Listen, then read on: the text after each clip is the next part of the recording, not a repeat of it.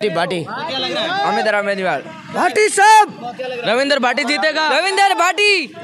उम्मीदवार राम जी। भाटी साहब BJP BJP Modi Modi. Bhati की रैली है जीत मैं यहाँ जनता की राय जानने आया हूँ। ना कि मैं किसी के हार या जीत करवाने का। मैं जनता से क्या जनता क्या चाहती है उनका मेरा कोई विषय ये नहीं है कि कौन हारेगा कौन जीतेगा। ना मेरा कोई विषय रहता है कि, कि किसी को बहकावा के चुनाव का वोट करवाना।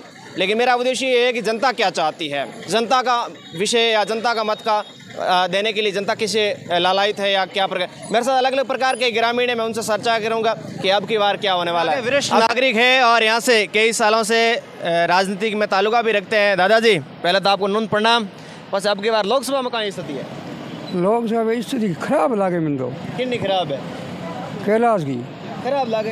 हाँ पार्टी ठीक आ गए क्यों? कैलाश जी ने भाई के के साहब को मंत्री बनाने बेड़ा भाजपा जीते। मेरी मेरी बात सुनो। बात नहीं कह रहा हूँ। हाँ सही है। मैं कह रहा हूँ के के चुनाव तो कैलाश हमारे पास में कोई प्रचार प्रसार वास्ते है नहीं।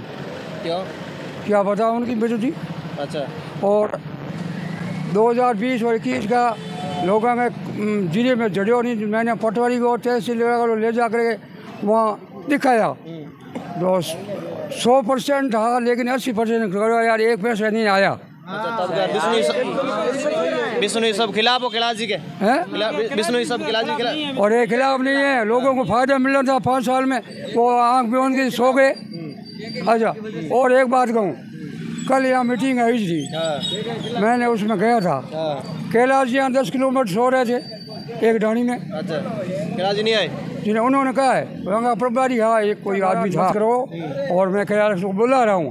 मैं कहा ऊँचा उड़ो कुछ कार करे को नहीं। हाँ। आखिर में भी भावना हो तो मार्ग ना आवे सारक ना आवे गए ही लोगन गए। आज चुनाव को ठेम आयो है। लोगन चिता रही कोई नहीं मतलब इंगे वोट लेना कोई नहीं। वो पार्टी दौड़े है। बाहर में कल मीटिंग हुई है।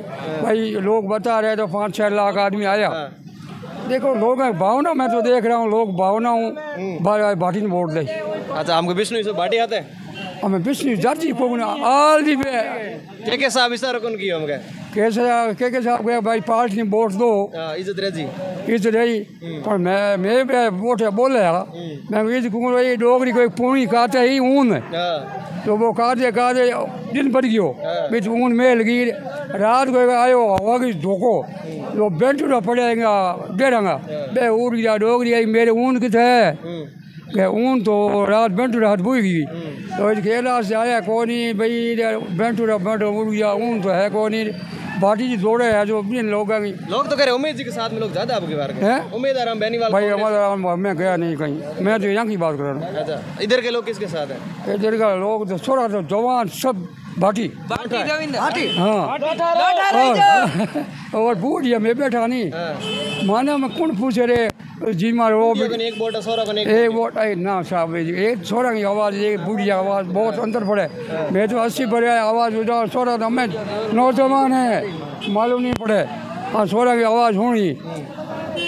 पहली बात है कि चाहे कुछ भी हो बच्चे ये पढ़ाई करे थे सालों पढ़ गया उनको पेपर दिया कि अब उदयपुर जाइए वहाँ गया पेपर नहीं मिला और वो फर्जी वाला किया मैं जीत गया छोरा बाबा पकड़ छोरा उड़ा डाडिया उठाया। क्यों नहीं मिलो?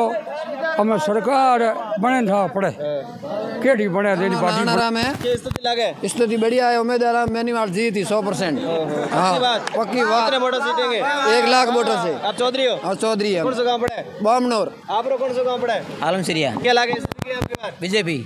बीजेपी जीतेंगे। हाँ, कैलाश लोग मेरे पास दादाजी खड़ा थे दादाजी बूढ़ा बहुत दिमाग काम काम कैलाश जी काम घणे करे काम। आप लोग नाम? किरण चौधरी। कहाँ से हो? उड़सर से। क्या लग रहा है इस बार? उम्मीदवार मेनीवाल जीतेंगे। अच्छा आपका क्या नाम है? किशन लाल। कहाँ से हो? दुद्धू क्या लग रहा है इस बार? उम्मीद जीत हो टका ही मार। आपका क्या नाम? कहाँ से हो? लूकू से। क्या स्थिति लग रही है रविंद्र भाटी आएँगे। आपका क्या नाम? है? घुमाराम क्या कौन जीत रहा है? उम्मीद राम जी। इस बार माहौल ये लग रहा है कल रैली हुई थी निर्दलीय की और परसों हुई थी कांग्रेस पार्टी। कांग्रेस पार्टी ने पूरे कार्यकर्ता दिल्ली से लगा कर बाड़मेर तक ज़ोर लगा दिया।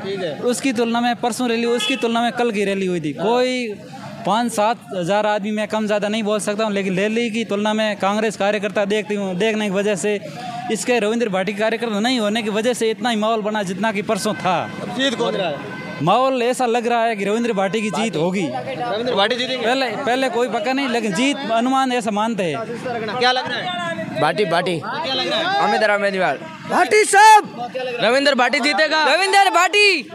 उमेदवार राम जी। भाटी साहब बीजेपी बीजेपी मोदी मोदी भाटी की रैली है जीत है क्या लग रहा है इस बार? पार्टी का वोट रहेगा के? पार्टी का। कौन जीतेगा? पार्टी जीतेगा। कितने वोटों जीतेगा? दो लाख से। कितने वोटों से जीत जाएँगे? हमें वोटर में क्या पता कितने में जीतेगा पार्टी साहब जीतेगा। जीत जाएँगे? जी जाएँगे। पक्का? पक्का। आप लोग क्या विचार है? आगे। क्या लग रहा है हनुमान जी इस बार। इस बार रविंद्र जी पार हो जाएगा। कैसे कह रहे हैं इस बार कैसे पूर्ण बहुमत से होगा बढ़ेगा का आगे क्या? दो ढाई लाख वोटों से आगे रहेगा। पक्की बात। पक्की बात। ऐसा कैसे हो गया इतने अरे दिख रहा है युवाओं का माहौल है दिख रहा है जोश है युवाओं का अंदर। आपको चोटन पड़ती है? हाँ, पड़ती है। हाँ तो बीजेपी जीती है। बीजेपी जीती है परंतु इस बार रविंद्र के साथ में। ठीक। है और उम्मीदें राम जीतेंगे ये तो कह रहे कांग्रेस वाले पेपर खा गए। कौन कहते हैं? कुछ नेता कह रहे। रहते सारे भ्रष्ट है और क्या है? अच्छा तो उम्मीदें राम जीतेगा? बिल्कुल। कितने वोट से अनुमान से डेढ़ लाख। ठीक।